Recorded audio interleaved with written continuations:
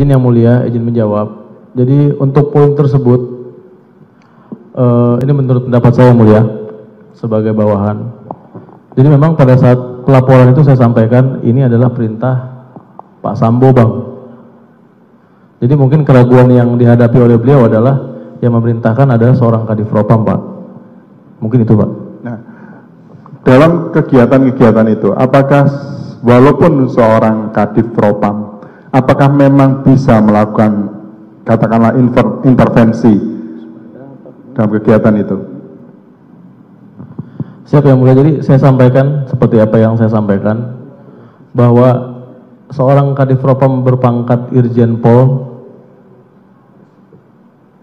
bintang 2 di Polri ini banyak pak akan tetapi kadif propam ini hanya satu kalau di TNI kan dia pom pak pomnya TNI artinya memiliki eh, kewenangan khusus terhadap polisi umum.